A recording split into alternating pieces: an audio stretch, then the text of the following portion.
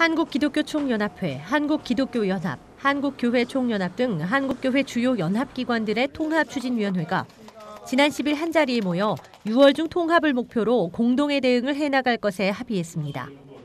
합의서를 통해 세 기관은 한국교회의 하나됨을 저해하는 요소들을 과감하게 물리치고 세계 연합기관이 조속히 하나되도록 추진해 나갈 것이라며 이를 위해 한기총과 한기연은 법인 존속을 주장하지 않을 것이며 한교총도 법인화를 추진하지 않겠다는 조건을 분명히 했습니다.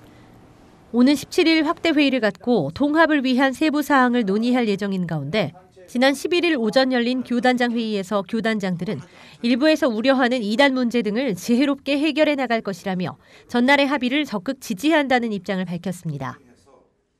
한국교회 앞에 산적해 여러 가지 대사회 및 대정부를 어, 우리가 참 어, 기독교계 이름으로 어, 영향력을 발휘하기 위해서는 하나가 되어야 되겠다. 대성 차원이 하나 되는 일을 위해서는 크게 열겠지만 그러나 아까 말한 것처럼 가장 중요한 문제는 분명히 옥석을 가려서 일을 해 나갈 것을 말씀드리면서 하지만 바로 이어 열린 한기총 임원회에서 주요 임원들은 통합의 형태에 반발하며 한국교회 연합기구의 통합은 한기총 중심의 통합, 곧 이탈한 교단들의 복귀가 되어야 한다는 주장을 굽히지 않았습니다.